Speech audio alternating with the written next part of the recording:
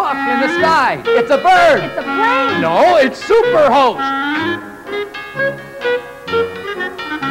Give me that shoe. Meek, mild-mannered director trainee Henry Bookerstein becomes Superhost.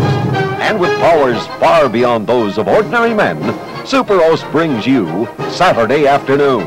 And now, Supe's on.